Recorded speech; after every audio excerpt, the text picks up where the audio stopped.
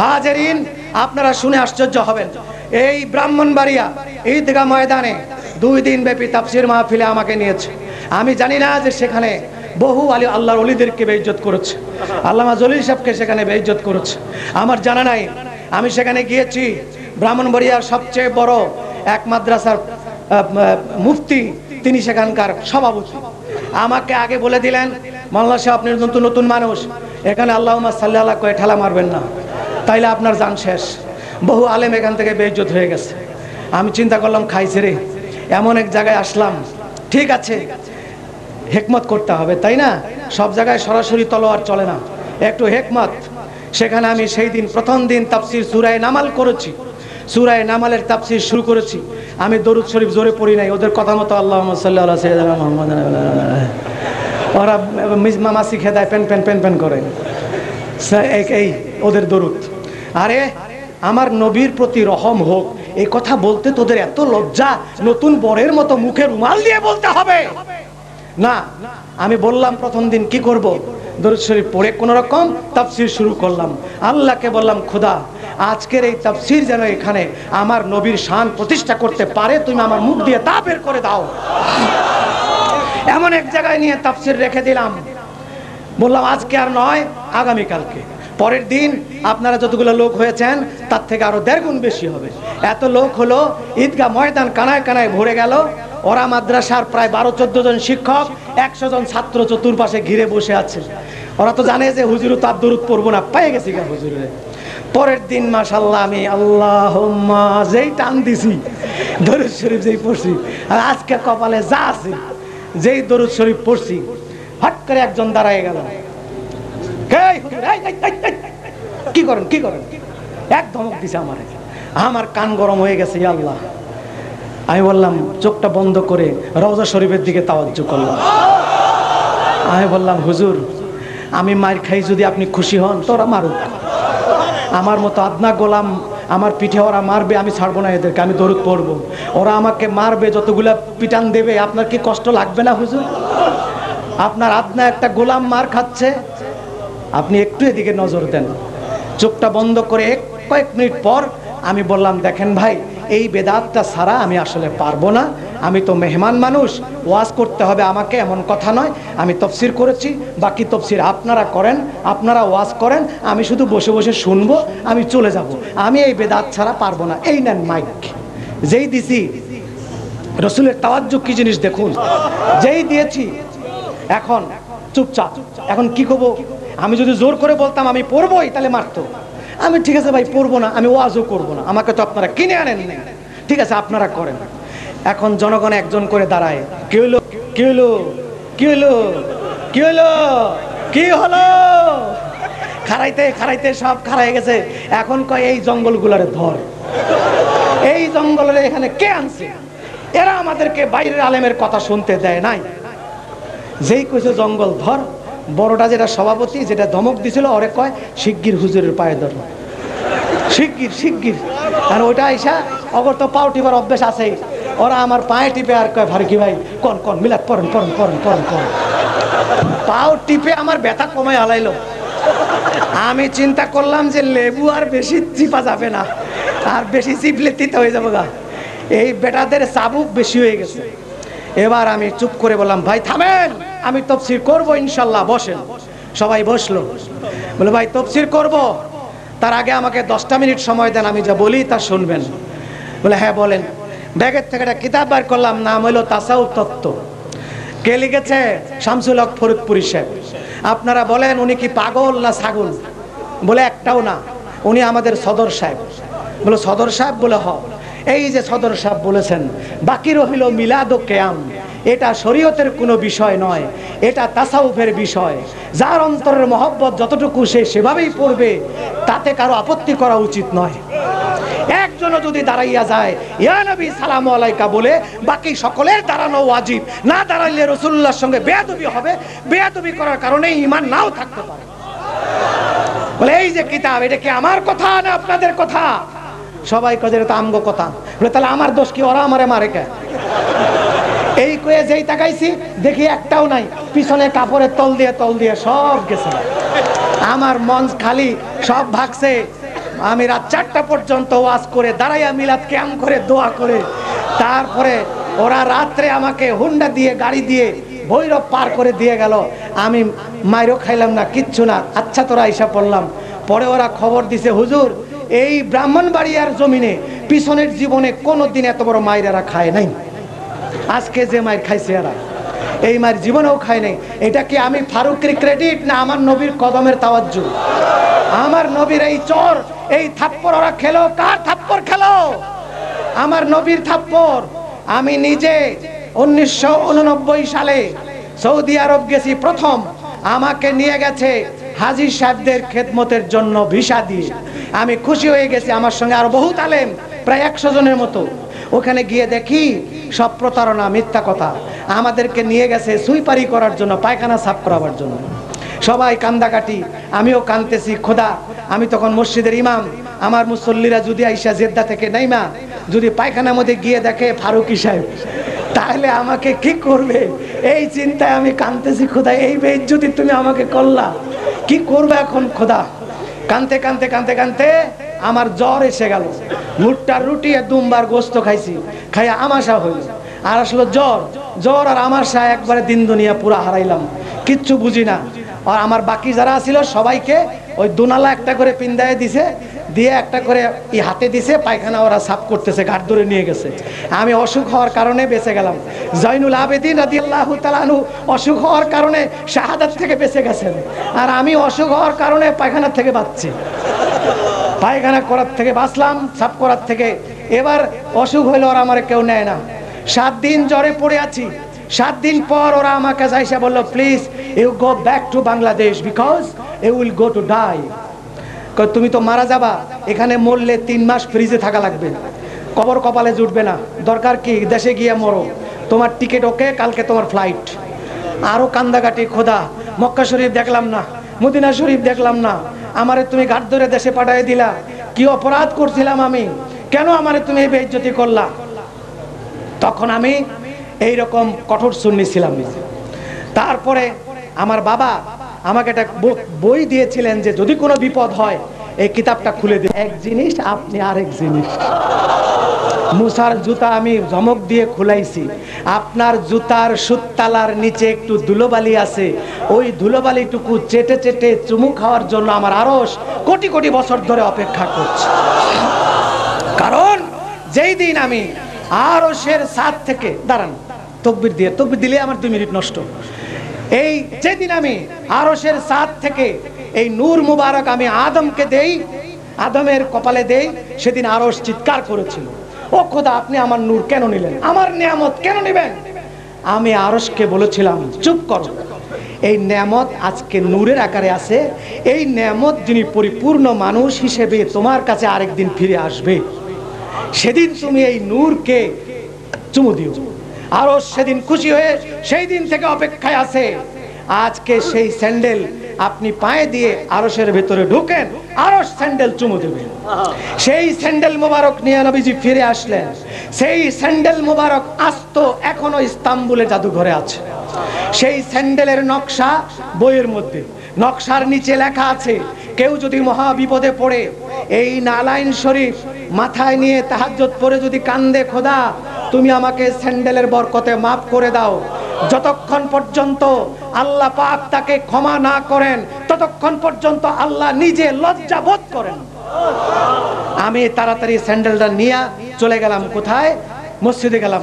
গিয়ে মাথায় নিয়ে বললাম, খোদা, তুমি যদি আমার বেইজ্জত করো, এই যে হুজুরের স্যান্ডেল। করো এখন, কীভাবে বেইজ্জত করব? আমি পেয়ে গেছি গা। আমারে বেইজ্জত করো না গো খোদা। যদি বেইজ্জত করো, দেশে পাঠিয়ে দাও। আমাকে কফিনে ভরে পাঠিয়ে দিও, জেন্দা যেন কেউ আমাকে না দেখে।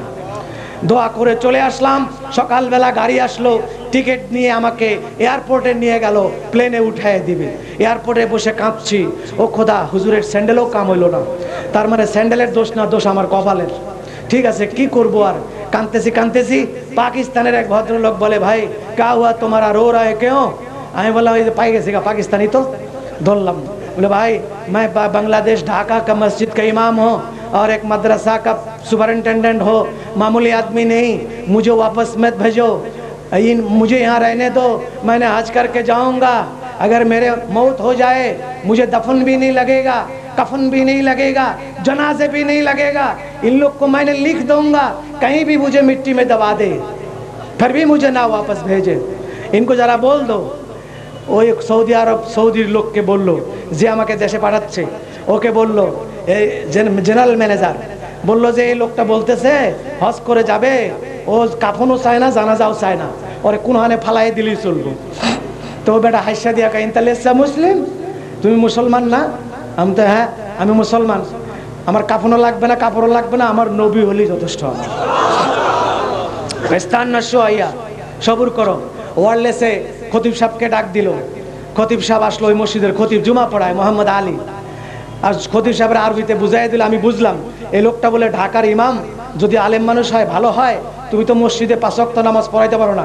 এটাকে মাগরিবে সাহেব ফজরের জন্য রেখে দাও, হজ করে যাবে। ইমাম সাহেব আমার সাথে করে নিয়ে গেল তাহলে আবদাল্লাহ লাতাবিকে ওয়ালা তাহজান। আসো আমার সাথে, কেঁদো না, গেলাম। আউ্বালানিন বাদাইন সালাত। আমি তখন আরবি ভালো বলতে পারতাম না। আগে তুমি আজান দাও, তোমার আজানেই কয়ে দেবো তুমি ইমামতি পারবা কিনা। ঠিক আছে, আমি বুদ্ধি করলাম যে রে, এই বাংলাদেশের আজান এটা চলবে না। এই মক্কা মদিনা যে আজান এটা দিতে। মদিনা শরীফের আজান দিলাম। এই সাত দিনের জ্বরে আর আমার আমাশায় বাংলাদেশি পচার অস্কর সব বাইরে গেছে গা। যে গলাটা ভালো হয়েছে। আজান যখন আমি দিলাম, আজান শেষ হওয়ার পর এই বেচারা আঙ্গুল তুললো। কেতির কই চিন্তা খের উন্নয় সেও আহসান আমি কই রে, কথা তো ভালো, কিন্তু লক্ষণ খারাপ। এইটা আমাদের দেশে এরকম করলে আর উপায় আছে? আমি চিন্তায় পড়ে গেলাম, ব্যাপার কি? সাল্লে সাল্লে লেকিন না আমারে প্রশ্ন করে বসলেন তা হানফি আম সালাফি? এইবার চিন্তা খাম শেষ, আর চাকরি হবে না। আমাকে জিজ্ঞেস করল, তুমি কি হানাফি না সালাফি? মানে আহলে হাদিস কিনা এখন যদি বলি আমি হানা, হানাফি তাহলে আমার ইমামতি করতে দেব না। যদি বলি আমি লামো যাবিতে মিথ্যা কথা মুকদ্দাস জমিনে বলব না আমি, এতে আমার থাকা হয় হোক না হয় না হোক। শক্ত হয়ে গেলাম। আমি বললাম, লা আনা হানফি। কম, মা ফি মুশকিল হানফি, শাফি, মালিকি, হাম্বলি, কল্লো ইখওয়ান। মা মুশকিল, খুব খুশি হয়ে জড়াই দিল, তুমি সত্য কথা কইছো, এই জন্য তোমাকে ধন্যবাদ।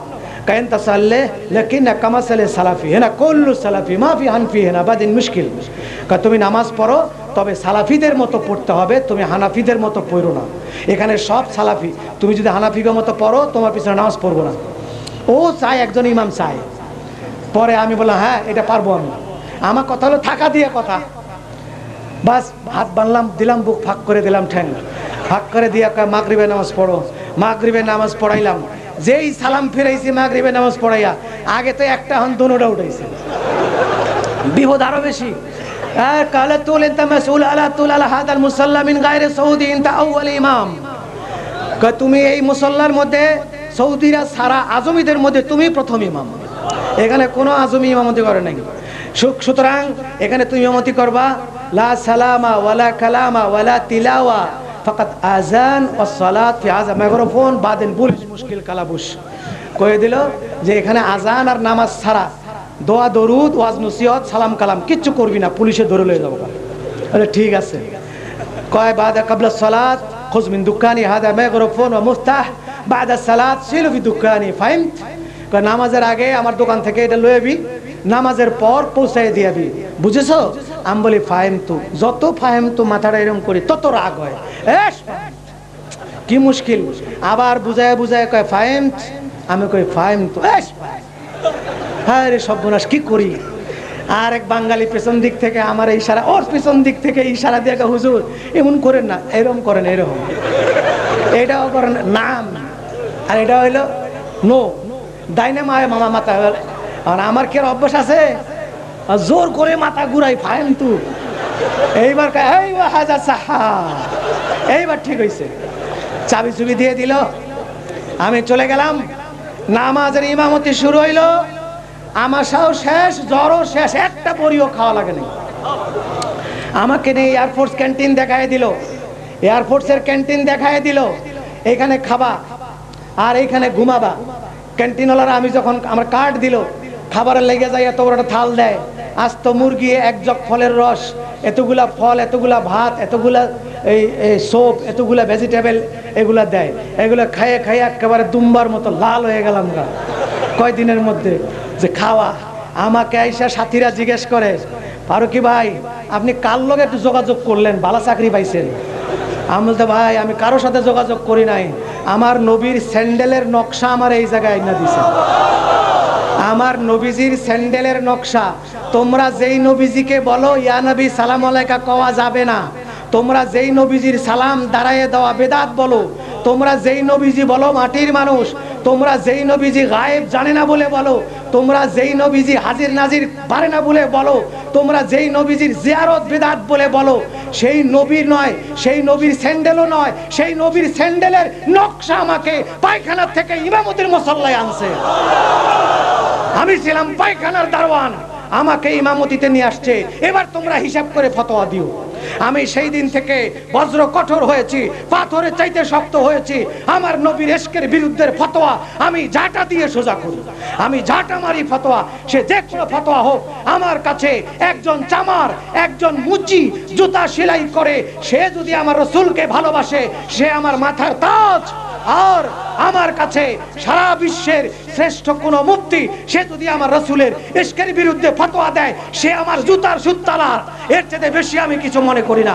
সে আল্লামা হোক, সে মুক্তি হোক, সে বিশ্বের যে কেউ হোক না কেন, আমার রসুলের এসকে তার ভালো লাগে না, রসুল হায়াতুন নবী তার ভালো লাগে না, আমার নবীর নূর তার ভালো লাগে না, আমার নবী কবরে জিন্দা ভালো লাগে না, আমার নবীর জিয়ারত তার কাছে বেদাত, সে আমার জুতার সুত্তালার উপরে আমি মনে করি না।